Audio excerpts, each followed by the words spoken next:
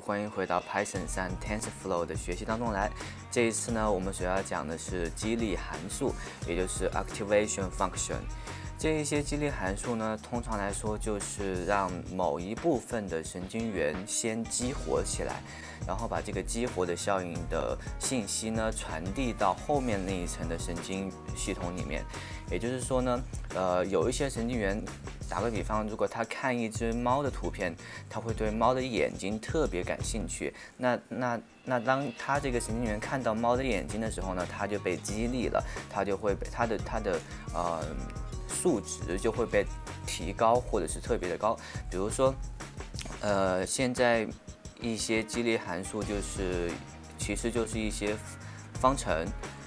嗯，这里有介绍了几种比较常见的方程，比如说 linear activation function，就是它是一个直线的方程，然后呢有一个呃 step。应该叫 step function，就是说，如果当你的函数你的传过来的值呢是负的的时候，是负数或者是小于某个数的时候，它就传递下去的值呢就是负呃一个负一。如果它的呃传递过来的值呢是一个正数的话，或者是大于某个值的话，那它的传递过去的值呢是又又可以变成一个正一。它就说明它就被激活了，然后呃，如果值呢到了这里边的这边传递下去的话，那它就是 activate。如果值呢到了呃，如果它所传进来的值呢是小于某个数的话，那就是 deactivate，就是不刺激、不激励。然后，呃，还有一些非线性的，有一些就是说，你传递过来的值如果很小的话，那我可以把它压缩到接近于零；如果你传递过来的值是非常大的话，那我就是呃增加传递出去呢，我就传递出去一个接近于一的值。这个这个反呃这个函数呢，可以用在呃像什么 classification 呢，就是说呃就是辨别某个东西是不是。其他东西的时候可以用到这些函数，这就是激励方程。然后呢，呃，TensorFlow 里面有的。嗯，激励方程应该放在什么地方呢？我们再次回到这一张 TensorFlow 的图表当中，我们有 input 输入值，然后输入值要经过 layer one，经过一个 hidden layer 就是隐藏层，然后再经过第二个隐藏层，然后再去有一个预测值，这就是一个一般的呃一般的神经网络，然后再到这边呢去呃这边其实算的是一个 cost。是一个跟真实值对比起来的差距，然后呢，如果我们打开 Layer Two，我们的激励函数就在这个里面。你看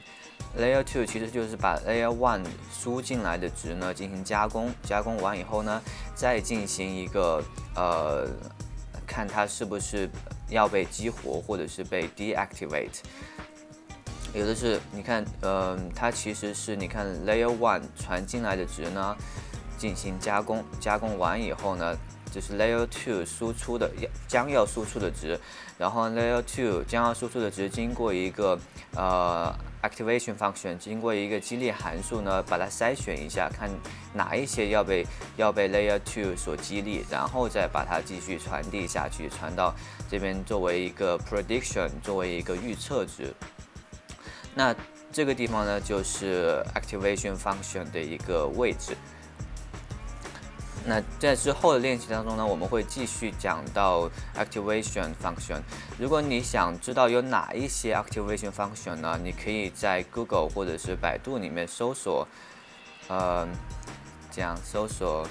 TensorFlow activation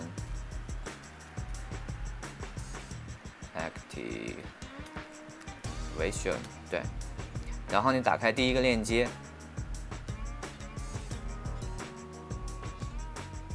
这边呢，这边几个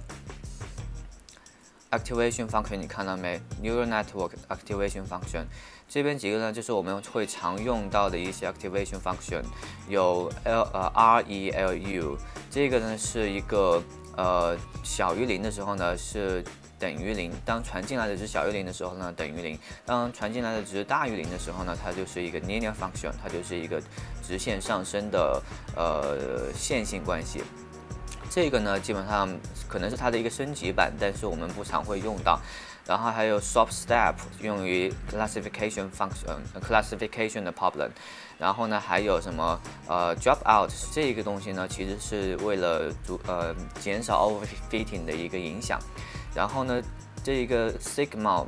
sigma 也是一个 classification 的一个 activation function。然后呢，ten 呃 ten h 也是可以作为呃一些其他在某些问题上可以用一些。这样的 activation function，每一个 activation function 呢，它会有适用的一一种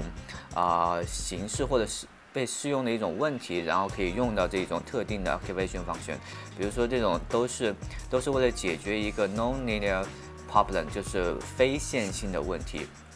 所以呢，啊，这就是 TensorFlow 给你提供的一些 activation function 的选择。在之后呢，我们会运用上这一些 activation function，呃，然后解决我们现有的一些问题。谢谢大家。如果你喜欢这段视频呢，你可以点个赞，或者是呢订阅我的频道，然后我会有更新更多的关于 TensorFlow 或者是 Python 的学习过程。谢谢大家。